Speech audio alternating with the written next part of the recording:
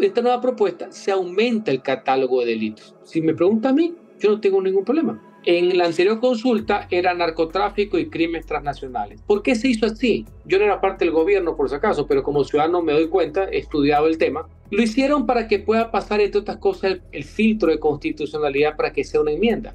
Porque si ponen muchos delitos, se puede correr el riesgo que la Corte diga, perfecto, pues es una reforma parcial lo cual involucra a otros actores, involucra que la Asamblea lo conozca, involucra que la Asamblea lo apruebe y la, el motivo de la aprobación vaya al referéndum.